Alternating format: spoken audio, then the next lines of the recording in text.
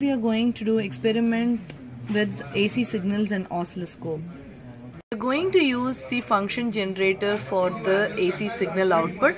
See I have connected in the output line and I'm going to set 18 kilohertz frequency through this and I'm going to adjust the RMS voltage through this output amplitude.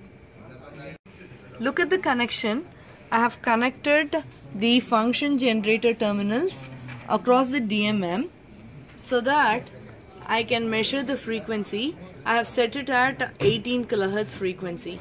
Now I have also set the voltage RMS at 3.5 volts and your multimeter should read 3.5.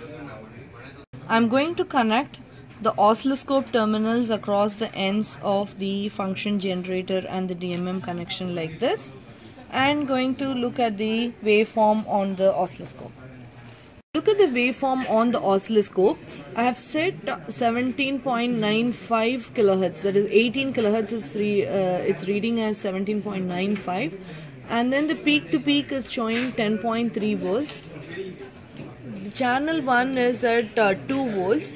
All these appear automatically when I click on the auto set button okay when I click on the auto set button the waveform is going to appear on the oscilloscope and all the readings you're going to see on the screen. Now I'm going to read the horizontal uh, scale.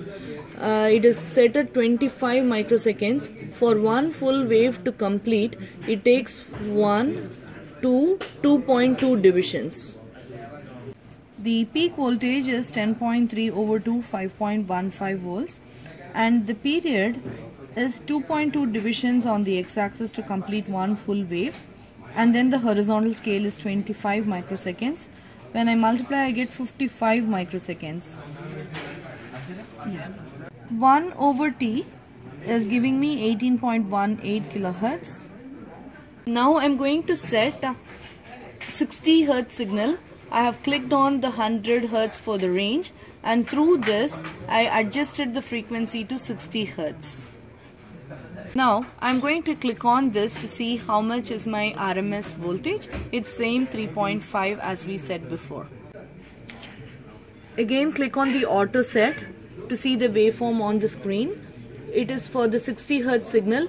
See the peak to peak it is the same almost 9.84 volts and then the frequency is 60 hertz and the RMS voltage that we set is 3.5 it is showing 3.56 I'm going to change the waveform to triangular waveform and frequency is the same 60 Hertz. VRMS is 3.5 volts.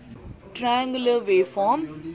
Look at the RMS voltage 2.67. It has changed itself. I'm going to note it. Oscilloscope shows the triangular waveform with the peak to peak as 10.3 and then no change in the horizontal scale 10 milliseconds and no change in the vertical scale 2 volts per division. I'm going to change the waveform mode to square wave. Look at the RMS voltage. It is changing on the DMM as 4.8 something. I'm going to note it. Look at the details from the oscilloscope. No change in the vertical scale, horizontal scale. Peak to peak was measuring 10 volts and then the period also was same as the triangular waveform only the RMS voltage has changed. Here is the reason why the sine waveform, triangular waveform and square waveform show different RMS voltages. Look at the sine waveform, the area under the curve, uh, it counts to 3.5 volts RMS. The triangular waveform occupies lesser space and the area under the curve is less. So it showed some 2.7 volts AC RMS and then the square wave occupies more area and so it measured around 5 volts RMS. I'm going to hook up this circuit now. Uh, Cathode ray oscilloscope has a limitation that it can measure the voltages across the grounded components only. The power supply has a ground so I'm going to connect channel 1 across the power supply and channel 2 is going to go across resistance R2 because the other end of R2 is connected to ground. Voltage across R1 is going to be the value that you get across supply minus the voltage across R2.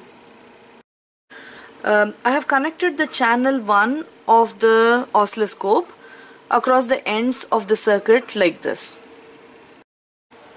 Channel 1 shows this waveform with a peak to peak measuring 10.6 volts and see the RMS value that we set 3.5 volts and the frequency is 60 hertz. I'm going to measure the voltage across the circuit uh, using a DMM like this positive end here negative end here. It reads 3.5 volts and I'm going to note it in my table.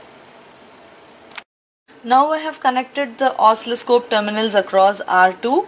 I'm going to measure the voltage from the oscilloscope. Yeah, I connected again um, in channel 1. It is reading a peak to peak of 7.16 volts and the RMS voltage is showing as 2.42 volts. I'll note it in the table now. Voltage across R2 is 7.16 volts and then the RMS is 2.142 volts. Now I just subtracted these two and I have the voltage across R1 and these two I subtracted and I have the peak to peak voltage across R1 as 3.44 volts. Channel 1 and channel 2 both of them when I connected it it showed 1 volt per division as the vertical scale and horizontal scale remained the same 10 milliseconds per division. We are done with this experiment. Thanks for watching.